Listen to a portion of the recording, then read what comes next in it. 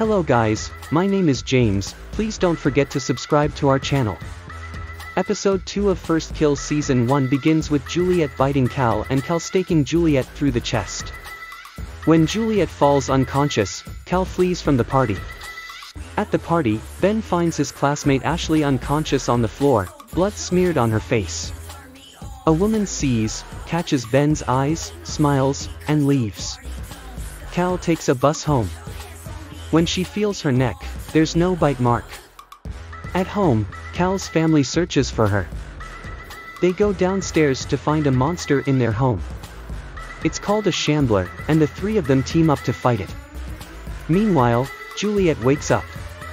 She pulls the stake out of her chest, and the wound heals itself. She hears police officers and sneaks out of the house without their noticing. At Cal's house, the shambler picks up a pendant. Talia recognizes it as a summoner. Apollo took it from the cemetery, not having known what it was. Talia rushes at the monster and decapitates it. Juliette gets home. But her mother catches her sneaking back. Margot notices the blood dripping from her mouth and calls the rest of the family to celebrate Juliette's first kill. Now that she's killed, Margot says, they can have Eleanor's consecration ceremony on the next full moon. The Burns realize the summoner teleported the Shambler into their home. Theo is angry at Apollo. He almost destroyed the last picture Theo has of his own mom. Cal gets back home. She tells her mom she staked a vampire, but she didn't disintegrate. Talia says she wasn't a vampire, then. That night, Cal dreams of a horned monster that takes the shape of her mother. Her mother tells her, the worst monsters are the ones that appear to be human. Eleanor works as an intern for the district attorney's office, aka, her dad's office. She goes to see Malcolm at the morgue and wants to see Ashley Stanton's body. She notes that she still has blood in her veins. Her liver is missing, too.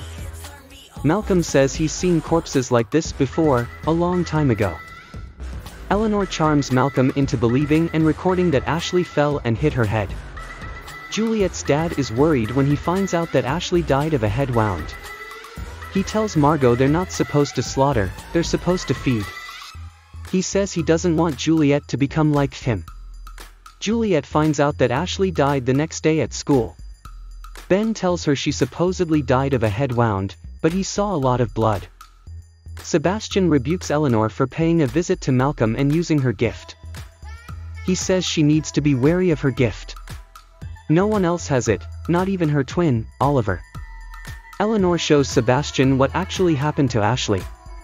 They think Juliette tore out the girl's liver. Theo and Apollo meet with Mr. Cook from the guild.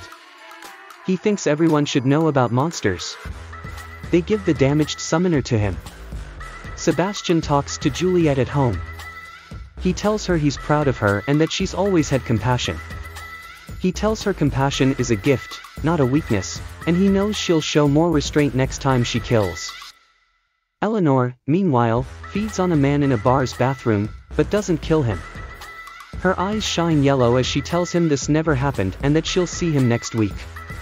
Eleanor and Apollo talk to each other and flirt at the bar, each not knowing who the other is. At Ashley's vigil, Juliette starts crying blood. She leaves, but Cal follows after her. She wants to talk, but Juliette runs from her. Juliette tells her she didn't mean to bite her, but Cal doesn't believe her. They start fighting. When Cal hits her face, her hand becomes paralyzed from Juliette's blood. Juliette runs. They get in trouble with the principal for going up to the roof. Their mothers come in, and Talia immediately suspects that Juliette is the girl Cal staked. The mothers stay behind while the girls go to class. Juliette tells Cal she knew Cal was planning to kill her when she walked into the pantry. But all she wanted to do was kiss her anyway. She didn't mean to bite her. Talia and Margot talk after the meeting.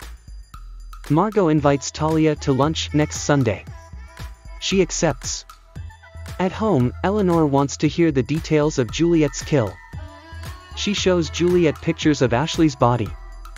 Eleanor also shows her the stake she found in her room.